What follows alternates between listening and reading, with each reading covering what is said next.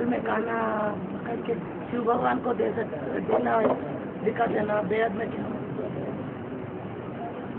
कटोरी में खाना ऐसा शिव भगवान को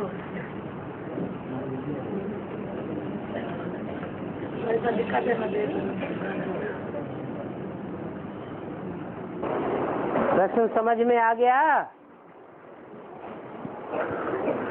है? नहीं अरे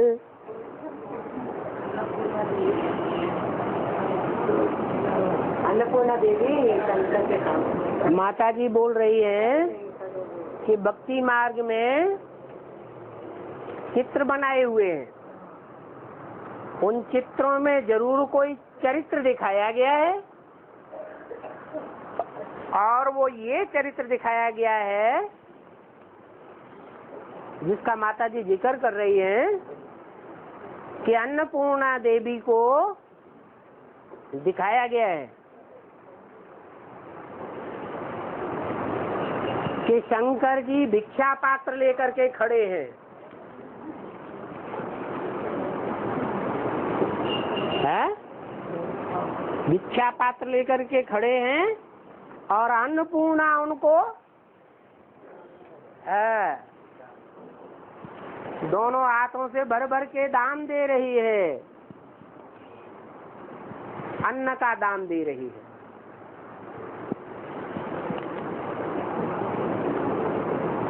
बाबा पुरानी पुरानी फ़िल्मों के गीत भी सुनाते हैं। इस बात से मिलता जुलता कोई गीत है? हैं? तेरे द्वार खड़ा भगवान, भगत भर दे रे झोली। तो झोली भरने वालों में जो पहले नंबर आगे बढ़ा होगा, उसका चित्र बनेगा, या जो बाद में आगे बढ़े होंगे, उनका चित्र बना होगा। है? जो पहले आगे बढ़े, उसका चित्र बन जाता है। उसमें भी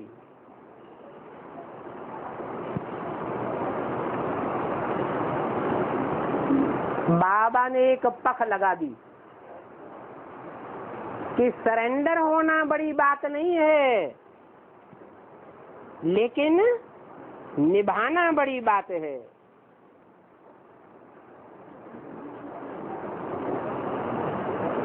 तो झोली में भर दिया सब कुछ।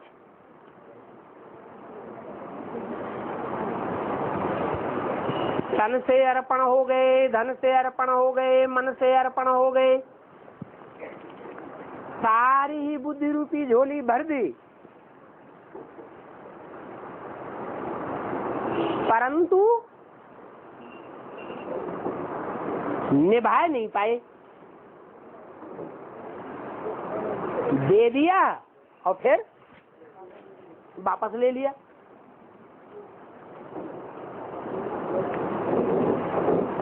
कोई ने लड़ झगड़ के वापस ले लिया, कोई ने बहाना बना के वापस ले लिया, कोई ने कैसे वापस ले लिया। दे के वापस ले लेते हैं ना।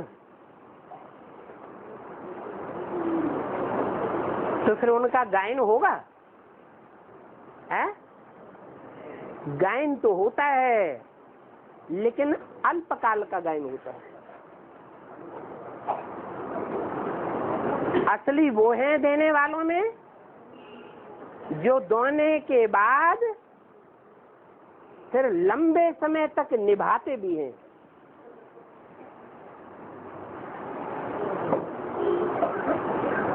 तो ऐसे देने वालों को देवी अथवा देवता कहा जाता है। उसमें भी देवी का गायन है। क्या दिया? अन्न दिया। ब्राह्मणों की दुनिया में जो ज्ञान मार्ग है, उस ज्ञान मार्ग में ज्ञान है पीने की चीज़, पेय। और जो अन्न है, अनाज है, वो है खाने की चीज़।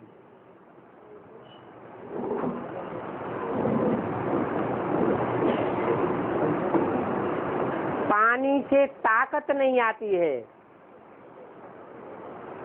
और अन्न से ताकत आती है। तो शंकर तो त्रिनेत्री उनको काय चीज़ की ज़रूरत थी? है? ज्ञान जल की ज़रूरत थी। ज्ञान दुग्ध की ज़रूरत है।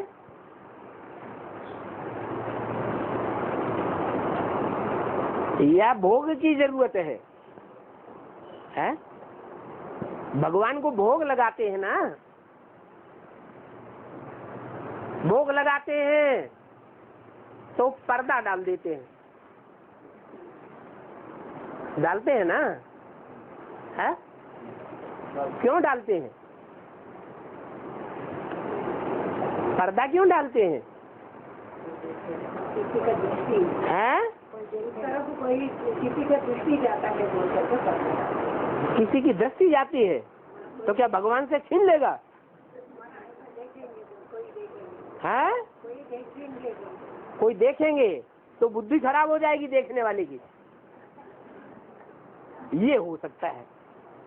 क्या? कि जो भोग भोगने की बात है,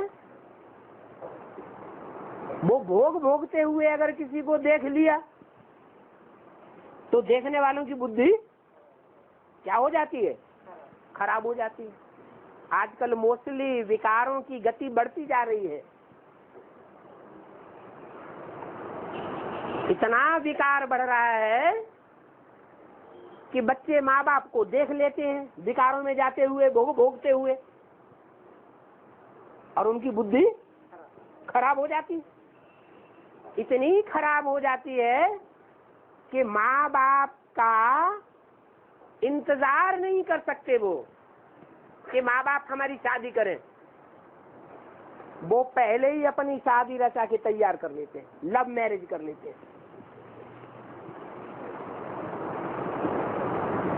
तो देखने से बुद्धि खराब हुई या अच्छी हुई? है? खराब हुई। भगत लोग समझते हैं कि भगवान तो जैसे हम रोटी दाल खाते हैं, ऐसे कोई रोटी दाल खाता होगा। अब भगवान रोटी दाल खाने के लिए आता है या विषय विकारों का भोग लगाने के लिए आता है? हैं? कौन सा भोग कहता है? चित्रों में भी दिखाया है कि कोई देवता ने वो विषपान नहीं किया, सिर्फ़ एक ही निकला जिसने विषपान किया। और उस विषपान करने से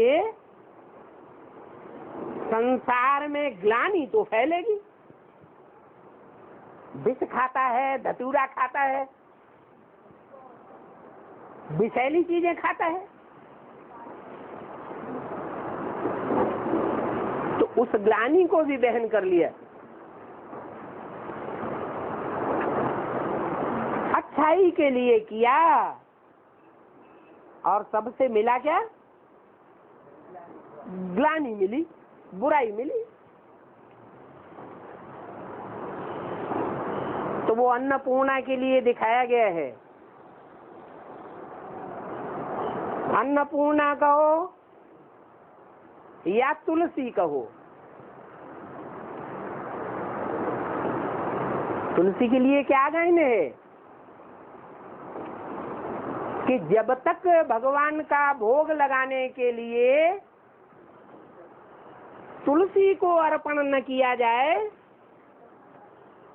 भगवान के भोग में तुलसी का हिस्सा न लगाया जाए तब तक भगवान का भोग स्वीकृत नहीं होता। क्या मतलब हुआ? कि भोग लगाने वालों में तुलसी ही सबसे पहले आगे बढ़ी। वो तुलसी में भी दो प्रकार की तुलसी। एक काली तुलसी और एक हरित तुलसी। काली तुलसी जो है, भगवान को भोग तो लगाती है। एक बार के लिए अर्पण में जीवन तो करती है। क्योंकि कन्या के पास अर्पण करने के लिए कुछ भी नहीं होता।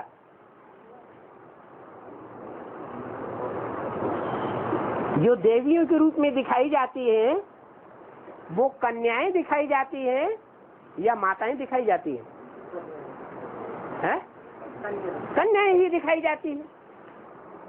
तो जो कन्याओं ने भगवान के लिए भोग लगाया, उस भोग अर्पण करने में अव्वल नंबर जो आगे गई, वो काली तुलसी गई। परंतु निभाए नहीं सकी। इसलिए नंबर पीछे हो जाता है। न निभा पाने के कारण भगवान के मंदिर में रहने के लायक अपने को न समझने के कारण कांटों के जंगल में चली जाती। तो काली तुलसी जंगल में फलती फूलती है। घर ग्रस्त में ज़्यादा समय रह नहीं पाती। और हरित तुलसी जंगल में फलती फूलती नहीं है। कहाँ फलती फूलती है? घर ग्रस्त में। जो भगवान आकर के घर ग्रस्त बसाता है, उस घर ग्रस्त में वो हरित तुलसी अपने जीवन को अर्पण करती है। अर्पण करने के लिए मुरली में बोला है कि तन भी सारा अर्पण करना पड़े। ऐसे नहीं कि तन अर्पण कर दिया, नाक अर्पण नहीं की। सारा तन अर्पण कर दिया, एक कान अर्पण नहीं किया। नहीं। क्या? सारा तन अर्पण करना पड़े। इसका मतलब ये हुआ कि जैसे कन्या का दान होता है भारतवर्ष में तो कन्या जब दान में दे दी जाती है तो कन्या के परिवार वाले वर पक्ष के ऊपर कोई केस कर सकते हैं? कि तुमने हमारी कन्या का ये अंग बर्बाद कर दिया?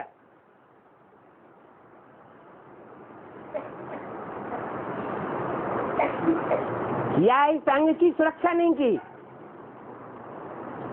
किसी ने केस किया? है?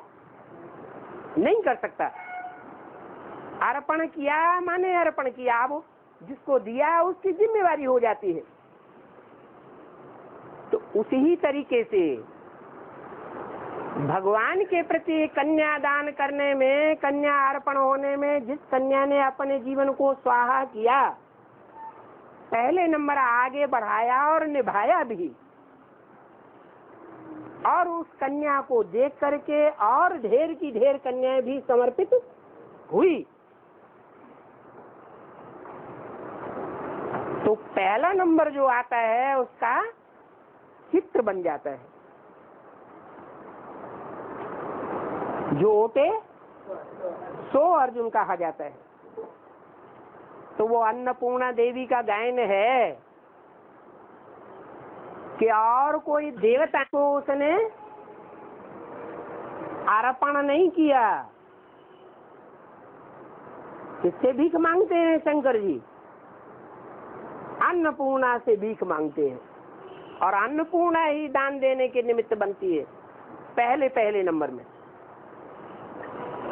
तो ये जो चित्र बनाए हुए हैं, वो चरित्र की यादगार हैं। किस समय यह यादगार बनी? किस समय फाउंडेशन पड़ा? संगमी की दुनिया में ही ये फाउंडेशन पड़ता है। और बाबा द्वैत मत और अद्वैत मत के बारे में बोला ना। और विशिष्टाद्वैत मत भी है, है?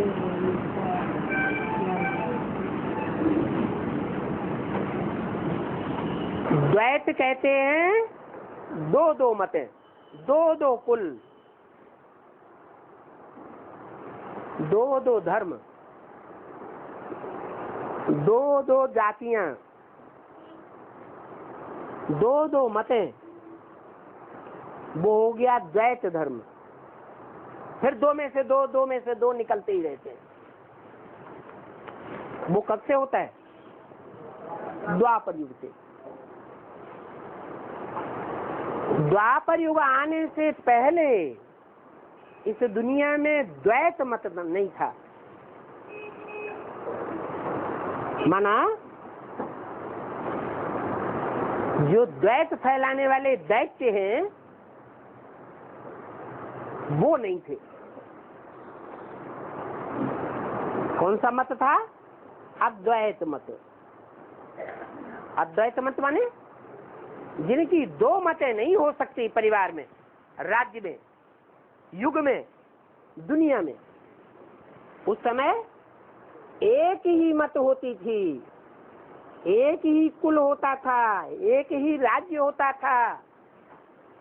वो अद्वैतवादी देवता थे। तो अद्वैत मत है देवताओं की और द्वैत मत है दैत्यों की। क्या कहा? द्वापर कलयुग में कौन सी मत? द्वैत मत। दैत्यों की कहो, राक्षसों की कहो, दानवों की कहो। और द्वापर से पहले अद्वैत मत है देवताओं की। माने राक्षसों से भी ऊँची मत किसकी हुई? देवताओं की। अब देवताओं से भी कोई ऊँचा होता है या नहीं होता है? है?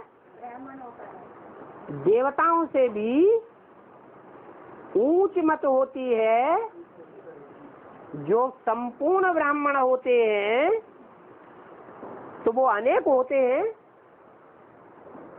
या एक दो चार होते हैं है? अरे ब्राह्मण अनेक होते हैं, या एक दो चार आठ होते हैं हैं? हाँ उनकी तो नौ कुरियाँ होती हैं एक एक कुरी में ढेरों की ढेरों ब्राह्मण होते हैं तो वो सब नहीं।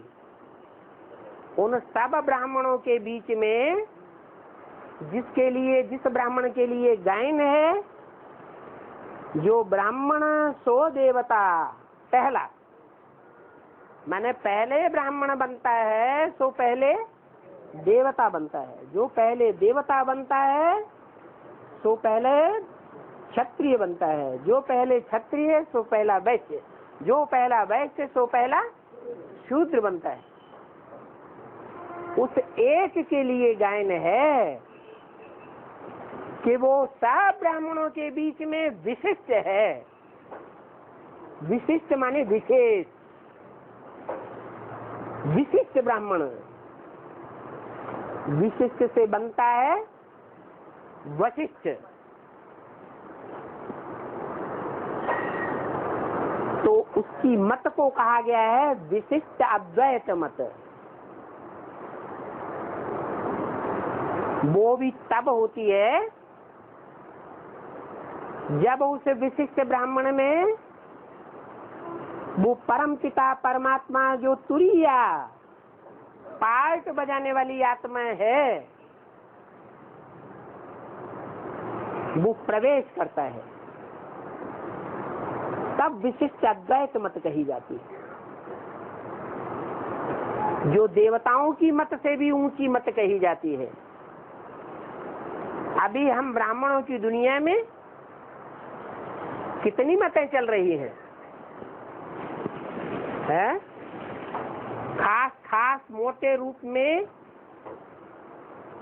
ज़्यादा से ज़्यादा कितनी मत कही जा सकती हैं? या कम से कम, खास खास, कितनी मतें चल रही है हम ब्राह्मणों की दुनिया में?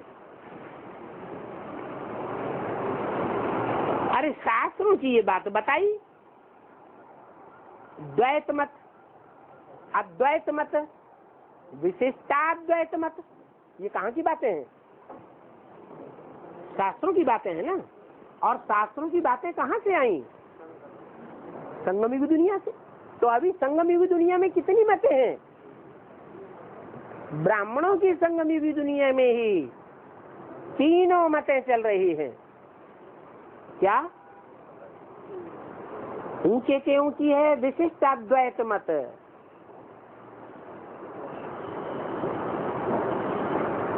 वो विशिष्ट मत वो है, विशेष मत वो है, जो चोटी के ब्राह्मण से निकलती है। जिस मुकर्र रथ में परमपिता परमात्मा प्रवेश करके मत देते हैं। उसे कहते हैं, श्री श्री 108 की विशिष्ट अद्वैत मत। दूसरी मत है, दैवीय मत।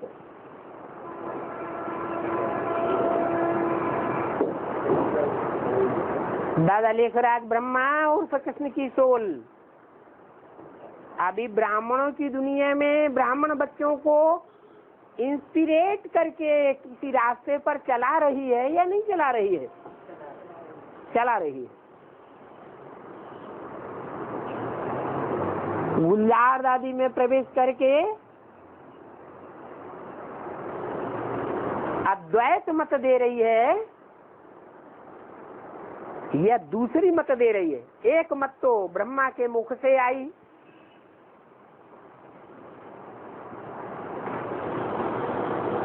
जिसे वेदवाणी कहा जाता है।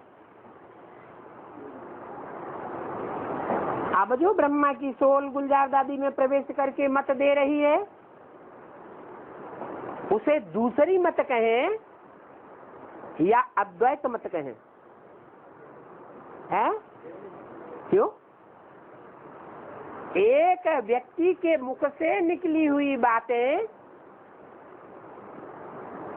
एक व्यक्ति के मुख से निकली हुई बातें, दूसरे व्यक्ति के मुख से निकली हुई बातों से टैली की जाएँगी तो अंतर पड़ेगा या नहीं पड़ेगा? जब अंतर पड़ेगा तो द्वैत कहा जाएगा या अद्वैत कहा जाएगा? तो दादा लेकर आज ब्रह्मा और कृष्ण की सोल में प्रवेश करके शिव ने जो वाणी चलाई जिसे मुरली कहते हैं, वो तो अद्वैत मत हो गई। विशिष्ट अद्वैत मत। तब? कब? वो तब विशिष्ट अद्वैत मत हो गई, जब वो शिव स्वयं ही आकर के टीचर बन करके उस वेदवाणी की व्याख्या करता है। तो विशिष्ट अद्वैत मत हो गई। बाकी ब्रह्मा के मुख से जो वाणी निकली, वो विशिष्ट अद्वैत मत थी या नहीं थी? है? नहीं थी। है? थी या नहीं थी? नहीं थी अरे।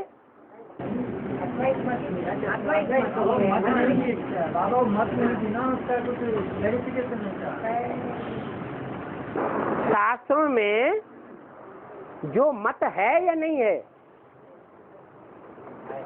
शास्त्रों में मत है, लेकिन कोई क्लियर क्लैरिफिकेशन तो है ही नहीं तो मत नहीं है। उसे द्वैत मत कहेंगे ना। द्वैत माने टकराने वाली एक दूसरे से टक्कर खाने वाली माने द्वैत मत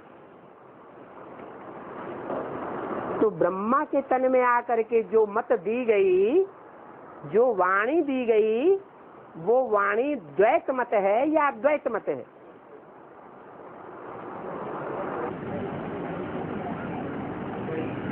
द्वैत है। सामान्य रूप से ये कहेंगे कि वो भी विशिष्ट अद्वैत मत है। लेकिन अद्वैत मत तो है, विशिष्ट तो है, लेकिन विशिष्ट तब है जब वो विशिष्ट व्यक्तित्व प्रत्यक्ष हो जाए संसार में। तो 76 के बाद जब बाप प्रत्यक्ष होता है तो वो विशेष ब्राह्मण संसार में, ब्राह्मणों में प्रत्यक्ष हो जाता है। तो चाहे मुरली कहें चाहे मुरली की व्याख्या कहें, है तो विशिष्ट। और अद्वैत मत भी है, विशिष्ट अद्वैत मत। लेकिन ब्रह्मा की आत्मा गुलजार गुलजारवादी में प्रवेश करके जो बोल रही है, उस मत को क्या कहें?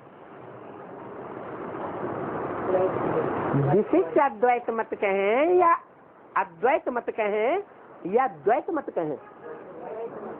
द्वैत मत। माने झगड़ा कराने वाली मत है। द्वैत माने दो दो में झगड़ा कराए टकराई करा, टकराव करा दे। अव्यक्त वाणी की बात कर रहे हैं। है। जो अद्वैत मत है, ब्रह्मा के आत्मा गुलजारवादी में प्रवेश करके जो मत दे रही है, उसका एक भी वाक्य ऐसा नहीं है। जो मुरली के वाक्यों को खंडन करता हो। न मुरली के वाक्यों को खंडन करता है और न मुरली की जो व्याख्या है, सुप्रीम टीचर के रूप में दी हुई, उस व्याख्या को भी खंडन नहीं करता है। तो उसे द्वैत कहें या अद्वैत कहें? है? अद्वैत ही कहेंगे। उसे उसे टकराव कराने वाली बात नहीं कह सक, कहा जा सकता अद्वैत है और अद्वैत जो देवताओं की मत है उन देवताओं में पहला नंबर जो देवता है पहला पत्ता नई सृष्टि का उसकी मत है। उसके बाद और और देवात्माएँ भी हैं, सतयुग में जन्म लेने वाली। मम्मा भी तो देवता के रूप में जन्म लेगी या नहीं लेगी? है? मम्मा भी जन्म लेगी। और भाव विश्व किशोर भी जन्म लेंगे कि नहीं देवता के रूप में? है? लेंगे। लेकिन जो भाव दूसरे देवता के रूप में जन्म लेंगे, वो पूरे चौरासी जन्म लेने वाले देवता होंगे, या उनका एक जन्म कम हो जाएगा? है? एक जन्म कम हो जाएगा। इसलिए वो विश्व किशोर भाऊ भले कितने भी ब्रह्मा बाबा के प्यारे हों परंतु जिस तन में प्रवेश करके अभी वर्तमान में संसार में प्रत्यक्ष होने वाले हैं, उस तन के द्वारा जो भी वाणी चलाएँगे, उस वाणी में अंतर होगा या नहीं होगा? है? उस वाणी में अंतर पड़ जाएगा। तो वो द्वैत मत हो जाती है। हम ब्राह्मणों की दुनिया में जो रुद्रमाला के मणके हैं उनमें सभी रुद्रमाला के मणकों में कोई ज़रूरी नहीं है कि एक बाप दादा ही प्रवेश करे और प्रवेश करके एक ही मत देवे। ज़रूरी है? नहीं? भक्ति मार्ग में मानते हैं कि एक मुख का रुद्रमाला का मणका विरले को मिलता है, मिलता ही नहीं। खोजने से, बहुत खोजने से कहीं मिलता है। बाकी दो मुख के, तीन मुख के, चार मुख के, दस पंद्रह मुख के मणके मिल जाते हैं। तो जो मुख बने हुए हैं रुद्राक्ष के मणकों में, वो प्रवेश करने वाली आत्माओं के मुख के द्वारा बोलने की यादगार है। एक बात नहीं बोलेंगे। आज एक बात बोलेंगे, कल? कल दूसरी बात बोलने लग पड़ेंगे। जैसे यादगार दिखाई है सन्मुख की। कौन? कार्तिकेय। कितने मुख हैं? छह मुख दिखाए गए।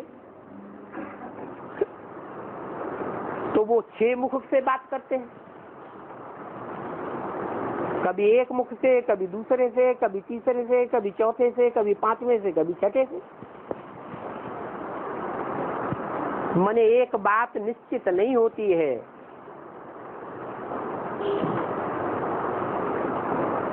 तो वो सब द्वैत मत हो जाती है।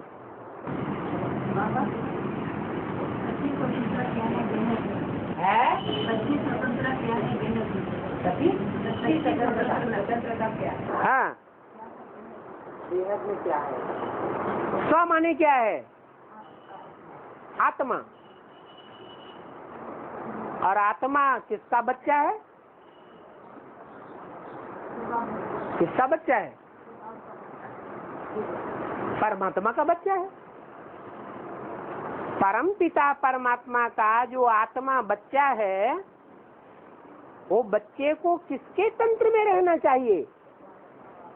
तंत्र माने शासन कंट्रोल अरे, किसके तंत्र में रहना चाहिए? बाप के कंट्रोल में ही रहना चाहिए। तो आत्मा, उस परम पिता परमात्मा बाप के कंट्रोल में तब ही रहेगी, जब प्रैक्टिकल में पार्ट बजाने वाले उस परम पिता परमात्मा को हीरो पार्टधारी को इस सृष्टि में पहचान लेवे। तब ही उसके तंत्र में रहेगी, या बिना पहचाने भी तंत्र में रहेगी।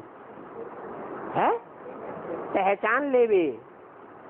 पहचाने, माने, जाने, और मान करके, जान करके दूसरों को मनवाने की भी ताकत हो। पहचान दिलाने की भी ताकत हो। तो कहेंगे कि स्वतंत्र रह सकती है वो आत्मा।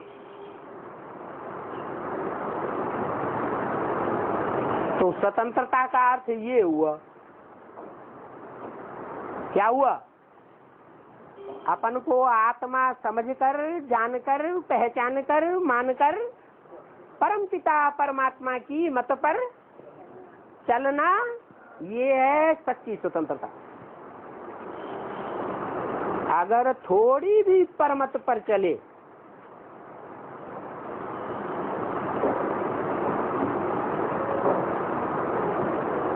मान लो प्रजापिता का कोई अनन्य भक्त है। जैसे ब्रह्मा का अनन्य भक्त विश्व किशोर भाव था, या कुमार का दादी थी। जिन कुमार का दादी के लिए मुरली में बोला है, इन सब सितारों में सबसे जास्ती खातरी होती है कुमार का की तो सब कोई समझते थे। कि ब्रह्मा की बात, ब्रह्मा की मत और कुमार का दादी की मत एक ही होगी क्योंकि बाबा कुमार का दादी को बहुत पसंद करते हैं। तो क्या ये संभव है कि ब्रह्मा की मत और कुमार का की मत? और ब्रह्मा के अंदर जो बोलने वाला था, परम पिता, वो तीनों की मत एक ही होगी? है? नहीं हो सकती।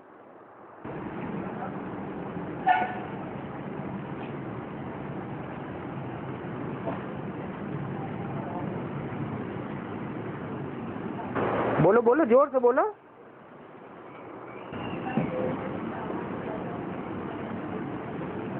हैं?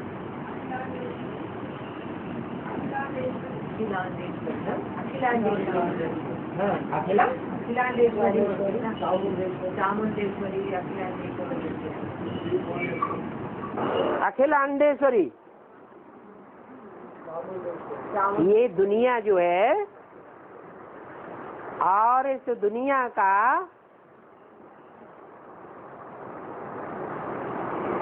जो भी वायुमंडल है और वायुमंडल से परे जो भी स्पेस है और स्पेस से परे जो भी ब्रह्मांड है, वो सारा ही एक अंडा कहा जाता है। क्या कहा जाता है? अंडा। उस सारे ही अंडे को कहते हैं ब्रह्मांड।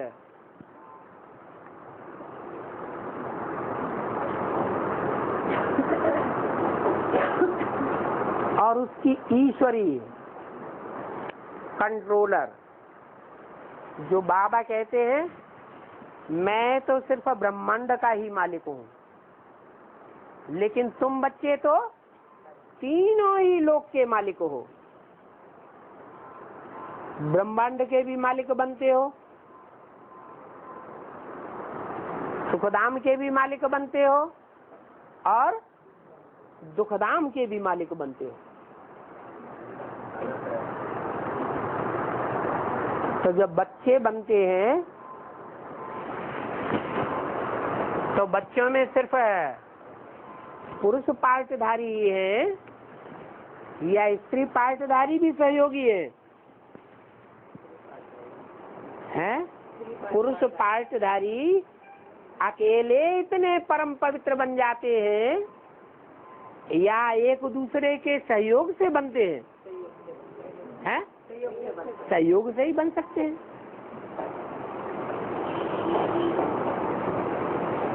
तो अखिल ब्रह्मांडेश्वरी भी कहा जाता है, अखिल अंडेश्वरी भी कहा जाता है।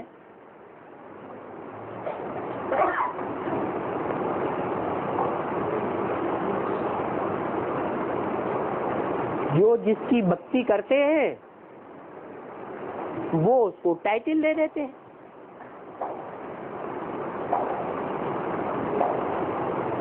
तो माता की जिन्होंने भक्ति की माता के जो भक्त हैं वो माता को ये टाइटल दे देते हैं।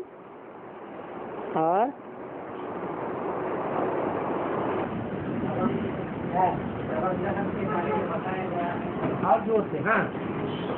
नवग्रह के बारे में बताया गया नवग्रह के बारे में बताया नवग्रहों के बारे में बताया। है। सुनो। बीच में जो है, वो अकेला है या जोड़ी है? हैं? बीच में जो है, वो जोड़ी है या अकेला है? नवग्रह की अंगूठी पहनते हैं। तो बीच में जो हीरा डालते हैं, वो अकेला है या जोड़ी है? हैं? अकेला है ना?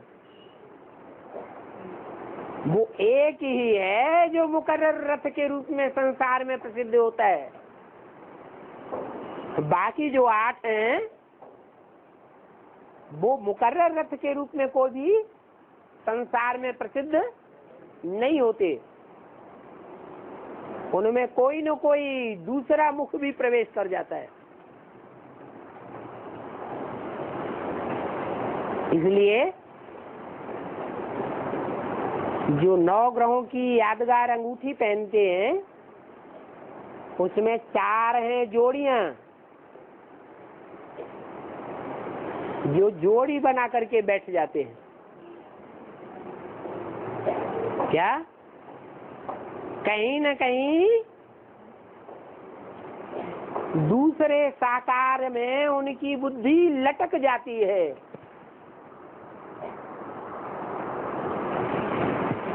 उनको एक एकलव्य नहीं कह सकते। एकलव्य सिर्फ़ एक ही होता है। और वो है हीरो पार्टधारी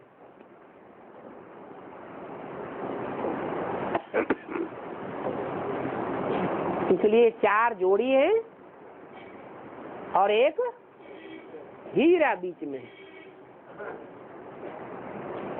और पाँच पार के करने वाले लक्ष्मी तो चाहिए बिना पार के कैसे कर सकते हो पार मेला करके तो इसमें पार लेकर वाली लक्ष्मी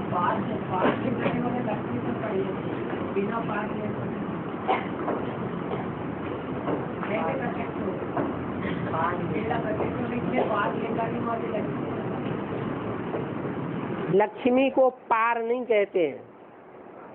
पार्वती को पार ले जाने वाली कहा जाता है? किसको कहा जाता है? पार ले जाने वाली को पार कहा जाता है, पार्वती। और तुम सब पार्वतियाँ हो। नंबर बार क्या? पार लगाने में कोई थोड़ा सहयोग देते हैं, कोई ज़्यादा सहयोग देते हैं। कोई सौ परसेंट सहयोगी बनते हैं, कोई पौने सौ परसेंट सहयोगी भी बनते होंगे। लेकिन पार लगाने में सहयोगी तो बनते हैं, इसलिए पार्वती का टाइटल है। लेकिन पार भी तब लगाने के लिए सहयोगी बनते हैं, जब उस एक के द्वारा ज्ञान को ग्रहण करते हैं, धारण करते हैं जीवन में। इसलिए वो एक निमित्त ज़रूर बनता है। जो सौ परसेंट सहयोगी बनता है पार लगाने में, उसके लिए भी एक वो निमित्त ज़रूर चाहिए। अगर वो निमित्त नहीं बनेगा तो पार लगाने में वो पार्वती भी सौ परसेंट सहयोगी बन सकती है। हैं? नहीं बन सकती है। एडवांस ज्ञान ज़रूर चाहिए। तभी कोई जीवन में एडवांस जा सकता है पुरुषार्थ में।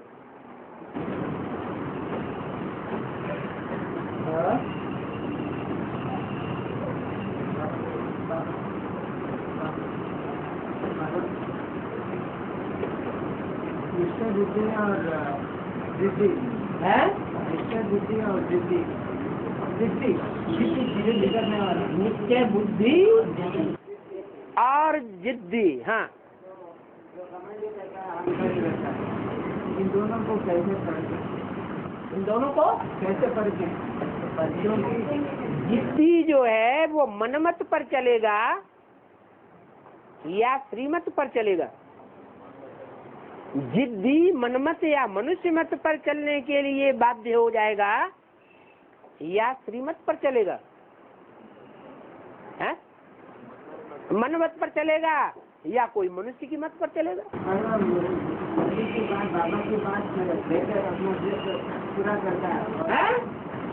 बाबा की बात लेकर करता है तो अपना जिद को पूरा करने के लिए की बात और बाबा की बात लेता है? ऐसी कौन सी बात है जो बाबा की बात को लेकर चलने वाला श्रीमत पर चलने वाला जिद्दी कहा जाता है।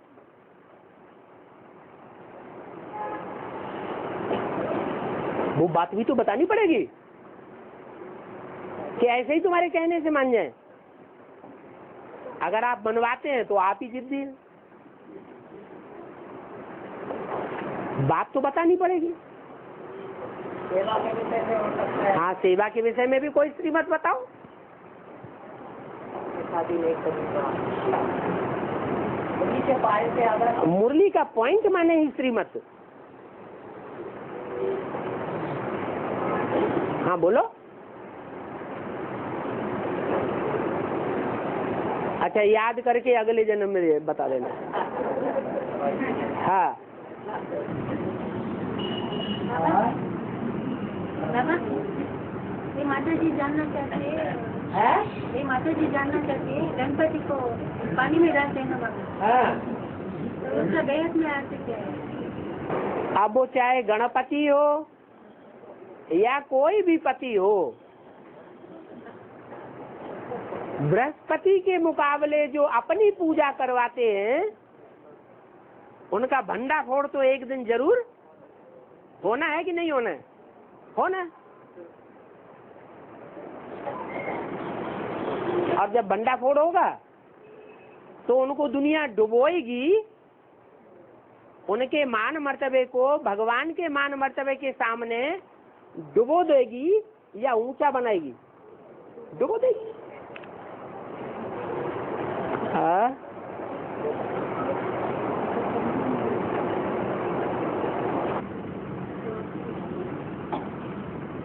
गणपति की पत्नियों के बारे में बताइए। की सिद्धि के बारे में बताइए कथा करें अभी तक सत्यनारायण की कथा की बात होती थी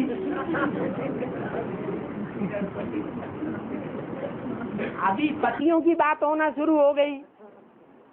पतियों में भी जो जानवरों के जैसे चित्र और चरित्र वाले हैं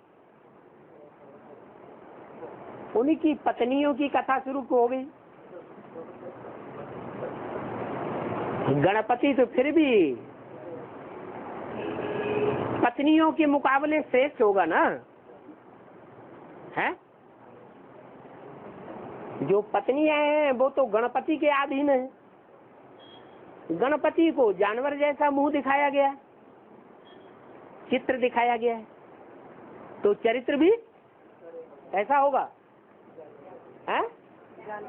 जानवर जैसा होगा क्योंकि जो देवताएँ होते हैं, वो देवताएँ तो अद्वैतवादी होते हैं। जो बाप का परिवार, घर परिवार, सो मेरा घर परिवार। और जो जानवर होते हैं, वो बाप के घर परिवार में, घर परिवार बसा के नहीं रह सकते साथ में। वो अपना गणेश लोग अलग बनाएँगे। अलग बनाएँगे या एक में ही मिलके रहेंगे? हैं? अलग बनाएँगे। अलग बनाएँगे तो विदेशी हुए या पक्के स्वदेशी हुए? हैं? विदेशी हो गए? तो उनकी कथा सुनाओ। किन की? एक सत्यनारायण की कथा में हमें मज़ा नहीं आता है। हमें उनकी कथा सुनाओ। जो जानवर के कंट्रोल में रहते हैं। हमें जानवर के कंट्रोल में रहना, जानवर के खूंटे पे बंधे रहना ज़्यादा पसंद है। अपनी अपनी पसंद है। हाँ? हाँ? हाँ। हाँ बोलो बोलो, उसका उसका जवाब में ये बताया। उदाहरण के तौर लीजिए, हम ज्ञान सुनाते सुनाते ज्ञान सुनाते सुनाते कोर्स करते करते हमें हमारे में अहंकार बढ़ जाता है। हाँ? और हम जो भी कहते हैं वो सच समझने लगते हैं। पहले जब कोर्स करते थे उसमें बुरापन था। पर जब कोर्स करते करते हमारे कोर्स में अहंकार बढ़ जाता मान न मालूम होते हुए। हाँ। बात बोले इंसान तो ये श्रीमत पर चलना हुआ। या श्रीमत पर चलते चलते मनमत पर चलना हो गया। अरे सुख ये नहीं मतलब है। हमारा मतलब है कि वो श्रीमत पर चलना कहेंगे या उसे मनमत पर चलना कहेंगे। अगर ज्ञान को अहंकार में डुबो दिया कि मेरा ज्ञान है, मैंने सुनाया, मेरी मत पर चलो। जैसे मैं तुम्हें चलाऊं, वैसे चलो। उसकी स्वतंत्रता का खात्मा ही कर देना, जिसको हमने ज्ञान दिया है। इतना उसके ऊपर चढ़ करके बैठ जाना। किसी को हमने ज्ञान दिया, कोर्स दिया, और कोर्स देने के बाद हमारे अंदर अहंकार आया, मैंने दिया। इसको किसने दिया? मैंने दिया। तो मैंने दिया तो मैं जैसे चलाऊं, वैसे चलो। तो ये अहंकार जो है, वो राम को रावण बना दिया या राम है, जो जिसमें ऐसा अहंकार है, वो राम है या रावण का रूप बन गया? पहले की बात खत्म हो गई, वो सतो प्रधानता गई। अब तमो प्रधानता कहेंगे या सतो प्रधानता कहेंगे? तमो प्रधानता आ गई। बता दिया ना। जो राम होगा, उसमें अहंग आएगा ही नहीं कि ये मेरा ज्ञान है। राम जो है, वो कभी स्वीकार भी नहीं करेगा कि मैं शिव हूँ, मेरे अंदर शिव आता है। राम के अलावा और जो भी आत्माएँ हैं, उनके अंदर आज नहीं तो कल क्या होगा? अहंकार ज़रूर आ जाएगा, तामसी बनने पर। करते थे कैसे? करते करते तरीका भी? और रहता है हाँ, ज़बरदस्ती करने पे आ गए ना? ज़बरदस्ती करना माने बलात्कार करना? अब जब बलात्कारी हो गए तो रावण संप्रदाय के हो गए ना? हाँ, तो अरे कोई व्यक्ति अपने को खुद ही न परख पाए तो उसे कहेंगे, स्वाभिमानी कहेंगे या आधीन कहेंगे। वो माया के बसीभूत हो गया या स्वाभिमानी है? माया के बसीभूत हो गया। इसी को कहेंगे जिद्दी। कि हमारी बात मानो। हमने तुमको ज्ञान दिया है। हम भगवान हैं। तुम श्रीमत पर नहीं चलते हो। जो कहता हूँ सही कहता हूँ मैं- जो कहता हूँ सही कहता जो मैं कहता हूँ वही सही है। तो तो जिद तो जिद हो गई ना। ये जिद है ना जिद के संस्कार है ना। जितना मैं श्रीमत को समझा और तुमने नहीं समझा। है? जितना मैं श्रीमत समझा हाँ। किसी और ने उतना नहीं समझा। हाँ। ये जो मैं कहता हूँ वो सही हाँ। तो ये ये ये बात ऐसे अगर ऐसे है कि जो मैं कहता हूँ वही श्रीमत है तो ये अहंकार है या स्वाभिमान है? क्या है बाबा? निश्चय बुद्धि और बुद्धि तो कैसे बच्चे की ना निश्चय बुद्धि हो या निश्चय माने किसके ऊपर निश्चय ज्ञान माने क्या? श्रीमत माना क्या?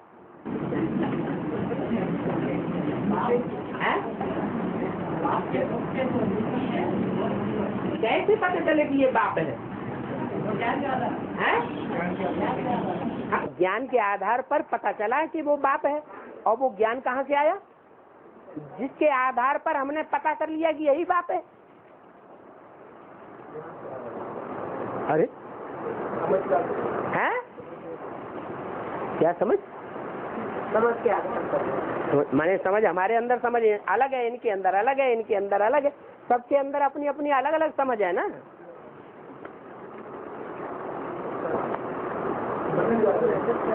है? हाँ मुरली किसे कहें?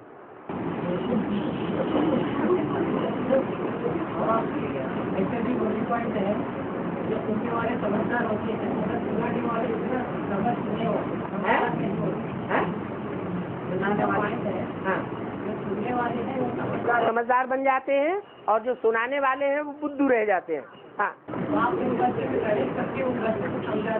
हाँ। तो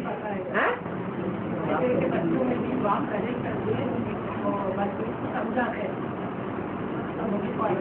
ऐसे ऐसे बच्चों में बाप प्रवेश करते हैं जो जो समझदार है समाज वाला ठीक है तो ऐसे बच्चों में बाप हाँ जो बेसमझ होते हैं उन बेसमझ बच्चों में क्योंकि वो बेसमझ हिम्मत करते हैं दूसरों को समझाने की। बड़ों बड़ों को समझाने की हिम्मत करते हैं तो हिम्मते बच्चे मदद है बाप। इसलिए बाप उनमें प्रवेश कर जाते हैं। बाप जानते हैं कि ये बेसमझ है। ये समझाने की ताकत नहीं रखते। तो उन बेसमझ बच्चों में बाप प्रवेश कर जाते हैं और प्रवेश करके बड़े बड़े विद्वानों को भी समझाते हैं कन्विंस करते हैं। हाँ तो? तो इधर बाप ही समझाना हुआ था। हाँ? तो इधर बाप ही समझाएगा। हाँ। तो पता कैसे चलेगा? जो जो जो जो जो समझाने वाला है वो ये समझे कि मैं मेरे अंदर बाप आया। वो वो ये स्वीकार कर ले कि मेरे अंदर बाप आया। हाँ तो फिर? कैसे पता चलेगी? वो सभी कहेंगे कि मेरे अंदर बाबा ने प्रवेश करके उस व्यक्ति को ये समझा दिया।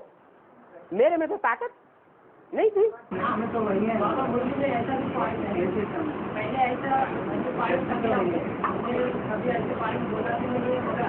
से ऐसे निकल है? हाँ अचानक मुख से ऐसे ऐसे पॉइंट निकल जाते हैं जो हमारी कभी बुद्धि में नहीं थे। हाँ है तो है है। प्रेरणा तो शब्द ही गलत हो गया। मुरली में तो बोला, मैं कभी प्रेरणा देता ही नहीं हूँ। प्रेरणा अगर दूँ तो मुझे आने की भी, इस धरती पर आने की भी दरकार नहीं। प्रेरणा की तो बात खत्म। है। पता जो है, उस व्यक्ति को ही चलता है ना। जिसने अनुभव किया, जिसने साक्षात्कार किया, उसको अनुभव हुआ। दूसरों को कैसे अनुभव हो कि इन्होंने साक्षात्कार किया, वो सच्चा है या झूठा है? दूसरे कैसे माने? मेरे अंदर शिव बाबा ने प्रवेश करके विद्वान पंडित आचार्य को समझा दिया। मैंने समझ लिया कि मेरे अंदर बाबा ने प्रवेश करके इतनी ताकत दी थी, जैसी ताकत, जैसे ज्ञान के पॉइंट मैंने कभी नहीं बोले। तो मुझे तो अंदर निश्चय बैठ गया। क्या? कि मुझे बाप ने कंट्रोल किया और कंट्रोल करके दूसरी आत्मा को कन्विंस किया। लेकिन मुझे दूसरे कैसे मानेंगे कि मैं बाप हूँ? मेरे अंदर बाप प्रवेश करता है। मैं शिवोहम हूँ। मेरे अंदर शिव प्रवेश करता है। दूसरों को कैसे मनवाऊं? अगर इस बात पर हम आमादा हो जाएँ कि नहीं, मानो तो हम जिद्दी हैं पहला पुण्य में आया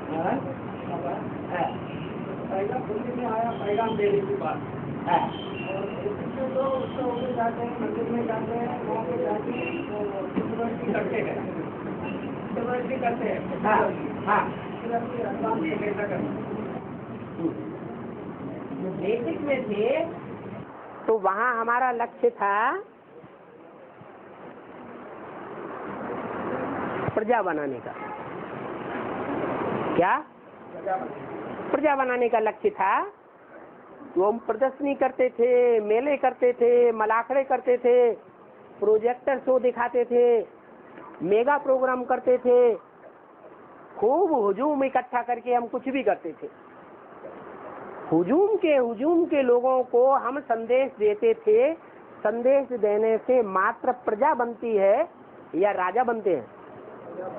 प्रजा बनी वहाँ अभी भी वहाँ प्रजा निकल रही है। राजा कोई भी नहीं बनता है। राजा अगर बनाना है तो राजा बनने वाली आत्माओं को हम अकेले में बैठ करके इतना तैयार करें कि वो आप समान बन जाए। तो एक एक के ऊपर माथा पत्ती करना पड़ता है। तब वो राजवर्ग की आत्मा तैयार होती है। इसलिए एडवांस में निकलते हैं मुट्ठी भर और बेसिक में निकलते हैं ढेर के ढेर। ढेर के ढेर होते हैं कौरव संप्रदाय और मुट्ठी भर होते हैं पांडव संप्रदाय। वो पांडव संप्रदाय में भी पाँच पांडव पाँच तरह के हैं। कोई सिख धर्म के सही, सहदेव जैसे हैं। कोई सन्यास धर्म के नकुल जैसे हैं। कोई अर्जुन जैसे बुद्धिमान नरार्जुन। बुद्ध धर्म के जैसे हैं। कोई भीम जैसे भयंकर कर्म करने वाले भी हैं। अति सामना करने वाले। जैसे भीम ने अकेले सौ कीचकों को मारा, सौ कौरवों को मारा, और अनेकों राक्षसों को संगार किया। भयंकर रूप था। और जितना भीम का भयंकर रूप था, उतना ही युधिष्ठिर का मृदुल रूप था। सहन शक्ति वाला रूप था। तो ये पाँच वर्ग के पाँच पांडव जैसी आत्माएँ तैयार होती हैं।